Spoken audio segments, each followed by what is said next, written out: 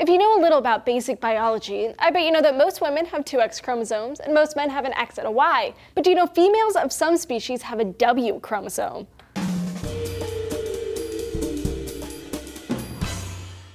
Hey science fans, Julia here for DNews. Bird sex is a little weird. No, I don't mean because everything happens in one hole. I mean birds have strange chromosomes. Let's start off with what we know about our sex chromosomes. Most women carry two X chromosomes, and most men carry an X and a Y. There's room for variation, of course. Some people have more than one X, like XXY or XXX, and this is true for a lot of organisms, like humans and cats and mice and things. In these cases, the female organisms produce one type of gamete, and they all have an X. But males produce two types, X and a Y, and it's the male gamete or sperm that decides the sex of the offspring. In some reptiles, it works a little differently. It's not necessarily the gametes that determine sex, but the temperature. Like take the American alligator, for example. Both high and low temperatures turn the eggs female, while middle range temperatures make the eggs male. A reptilian ancestor of both humans and birds probably relied on this system, but give or take a few million years and something else entirely emerged. Birds have ZW chromosomes. Yeah, you heard that right, Z and W, which stands for very weird.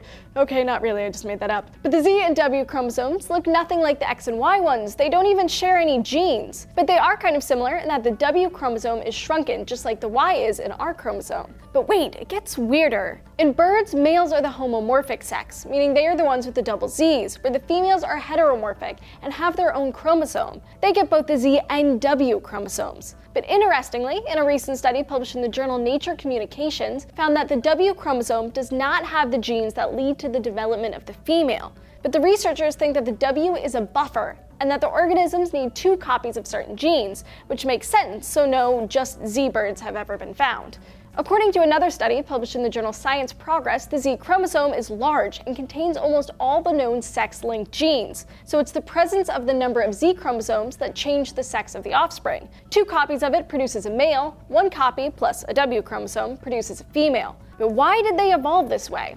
Researchers think that sex chromosomes evolved from autosomes, and the split between ZW and XY systems happened a long time ago since they don't really share any genes. Maybe birds got this flip-flop gene setup because of sexual selection. Many species of birds have males with extreme characteristics, think of like a peacock. That big tail might garner some womanly affection, but it doesn't enable them to fly. If a female were to get these traits, maybe it would be detrimental. Maybe they'd be more attractive to predators. So having another chromosome might balance out some of those traits. And having these sex-related traits on the Z chromosome means that when a male gets double those traits, he's like extra masculine.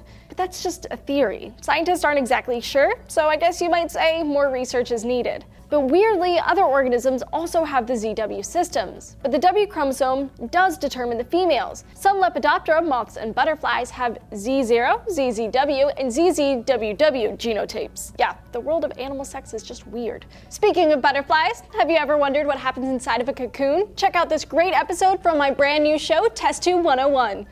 Here's what doesn't happen. Caterpillars slowly morph into butterflies, growing wings, eyes, etc. in the process. Nope, it's actually a lot grosser than that. Subscribe to TestTube 101 so you can get short and sweet and silly science in about a minute. So do you have any questions about the weird world of animals? Let us know down in the comments below. Keep coming back here to DNews. We've got new episodes every day of the week.